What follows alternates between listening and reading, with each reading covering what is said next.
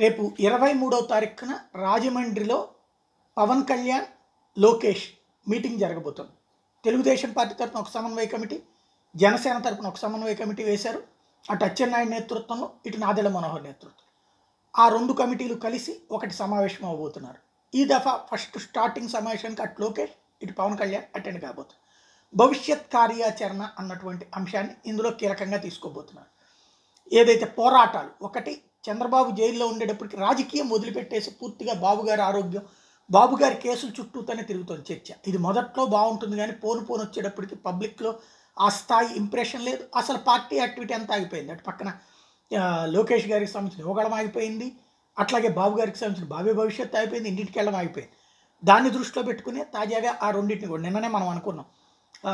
ఏదో వీళ్ళిద్దరు కార్యక్రమాలు లిస్ట్ అవుట్ చేశారు. రేపు పొద్దున్న జడ్జిమెంట్ వస్తుండగా ముందు రోజున ఈ నిర్ణయం తీసుకున్నారంటే రారని వీళ్ళకి నమ్మకం అన్నది. అదే కరెక్ట్ అయింది. పద్దెనిమిది రోజుల దాకా బాబు గారు బయటకు వచ్చే పరిస్థితి లేదు కాబట్టి వాళ్ళు ఆ కార్యక్రమాలు. ఇటు ప్రతి చోట కూడా జనసేన కార్యక్రమాల్లో తెలుగుదేశం తెలుగుదేశం కార్యక్రమాల్లో జనసేన పాల్గొనాలని నిర్ణయించుకున్నారు. అయితే ఈ సందర్భంగా పవన్ కళ్యాణ్ తన కార్యకర్తలతో మాట్లాడుతున్న సందర్భంగా జగన్ సర్కార్ మీద అవినీతి ఆరోపణలు చేశారు. అది ఇంతకాలం మద్యం ఇసుక లాంటి వాటి మీద చేశారు. ఇప్పుడు కొత్తగా ఆయన పథకాలు ఏదైతే బాగా ప్రజాబాహుల్యంలోకి వెళ్ళిన అమ్మ ఒడిలో కుంభకోణం ఉందన్నటువంటి సమాచారం ఉంది. దర్యాప్తు చేస్తాం. జైల్లో పెడతాం రేపు అంటే లైక్ చంద్రబాబుని జైల్లో పెట్టినట్టు నిన్ను కూడా పెడతాం అన్నటువంటి హెచ్చరిక. రెండవది వచ్చేటప్పటికి విద్యా వ్యవస్థలో కీలక సంస్కరణ నాడు నేడు కింద తీసుకొచ్చారు. అట్లాగే ఐబీ ఎడ్యుకేషన్ చెప్తూ పెట్టారు. అంతకుముందు సిబిఎస్ఈ పెట్టారు. అందులో కుంభకోణం ఉందన్నటువంటి నిన్న నాదేళ్ళ మనోహర్ ఆరోపణ చేస్తే అదే ఆరోపణ ఇప్పుడు పవన్ కళ్యాణ్ కూడా చేస్తూ దీని మీద దర్యాప్తుకు ఆదేశిస్తాం అరెస్ట్ చేస్తాం అన్నట్టు. సరే ఆ, అమ్మ ఒడిలో ఏదైనా కుంభకోణం ఉంటే అమ్మ ఒడిలో అకౌంట్లో డబ్బులు పడతాయి. దాంట్లో ఏం కుంభకోణం చేయాలి? వాళ్ళ ఇంటికి వెళ్ళి డబ్బులు ఎవడన్నా జేబులో పట్టుకొస్తాడా లేకపోతే ఈ స్కూల్స్కి సంబంధించిన దాంట్లో వేరే ఒక కోర్సు వాళ్ళకి డబ్బులు ఇస్తున్నారు. వాళ్ళు ఏమైనా లంచాలు ఇస్తారని ఓకే అట్లాంటిది ఏదైనా ఉంటే ఖచ్చితంగా పట్టుకోండి. కానీ పాఠశాల స్థాయిల్లో ఎదుగుదలని ఎందుకు అంగీకరించలేకపోతున్నాం? పేదవాడికి వచ్చే సిలబస్ నాడు నేడు కింద స్కూళ్ళ డెవలప్మెంట్ అమ్మఒడి ఆ పిల్లల బ్రతుకులు బాగు చేసేదే ఆ పిల్లల్ని కూలీ పనులకు కాకుండా స్కూళ్ళకి తీసుకెళ్ళేదే? అట్లాగే ఇంగ్లీష్ మీడియం ఇతరత్ర వ్యవహారం. వాటిని ఎందుకు అంగీకరించలేకపోతున్నాం? కార్పొరేట్ విద్యా వ్యవస్థలు చెప్పిన మాయలో పడుతున్నామా? లేకపోతే పేదోడి బ్రతుకు ఎప్పుడు పాత రోజుల్లోకి మళ్ళీ ఆ చెట్ల కింద బ్రతుకుల కిందనే సాగాలనుకుంటున్నామా? లేకపోతే వాడి బ్రతుకు ఎందుకులే ఇంగ్లీష్ అనుకుంటున్నామా?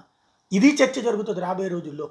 కుంభకోణం జరిగితే ఆ కుంభకోణాలు మనం పవర్లోకి వచ్చాక పట్టుకుని లేకపోతే చూపెట్టచ్చు. లేదా ఆ కుంభకోణానికి సంబంధించిన ఆరోపణ ఎప్పుడు వస్తుంది డబ్బులు రిలీజ్ చేశాక ఆ డబ్బులు వీళ్ళకి ఏదన్నా వస్తే ఆధారాలు చూపెట్టు. కానీ పథకం ప్రకటించగానే అదే కుంభకోణం అనేటట్టయితే ఇంకా అది భిన్నమైన రాజకీయం అవుతుందా?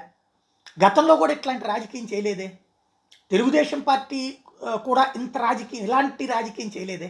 పథకం బీనయ్యాక కొన్నాళ్ళ తర్వాత చెప్పేది. అసలు పథకం బీన్ కాకముందునే వద్దనేటువంటి తరహా రాజకీయం భిన్నమైన రాజకీయం అంటే ప్రజలకి మంచి జరగాల చెడు జరగాల? ఒక్కసారి ఆత్మవిమర్శ చేసుకుంటే బెటర్. లేదు ఇదే ధోరణి కరెక్ట్ అనుకుంటే భవిష్యత్తు ప్రజలు నిర్ణయిస్తారు ఈ వ్యవస్థలకు సంబంధించి. ఇంకొకటి వచ్చేటప్పటికి ఇంత చక్కటి సమన్వయం తెలుగుదేశం పార్టీతో సాగుతున్నామే. కలిసి ఉద్యమాలు కలిసి కార్యక్రమాలు కలిసి ఇష్యూ. మరి భారతీయ జనతా పార్టీతో ఈ నాలుగున్నరేళ్ళ నుంచి ఎందుకు వెళ్ళి ఎందుకు సాధ్యం కాలేదు? కనీసం ఎలక్షన్స్ అప్పుడు సపోర్టింగ్ లేదు. ఈవెన్ ఇతర కార్యక్రమాలకి సపోర్టింగ్ లేదు. ఎప్పుడూ లేదు. ఎందుకని?